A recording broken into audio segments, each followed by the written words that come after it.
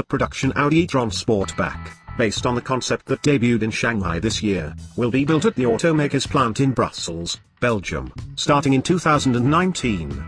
The swoopy electric model will join Audi's first all-electric offering, the e-tron Quattro, which will also be built in Brussels.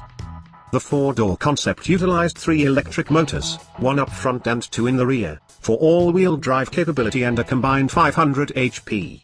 The car was estimated to hit 62 miles per hour in 4.5 seconds and had a range of more than 310 miles.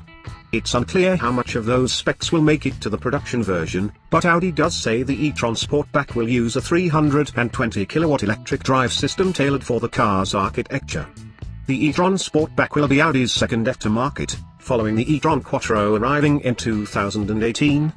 That SUV will be based on the e-tron Quattro concept of 2015 and will feature an electric drive system similar to that of the e-tron Sportback. Range and performance numbers should also be similar to the Sportback. Though a production model hasn't yet been shown, Audi has already begun taking reservations for its first EV in Norway.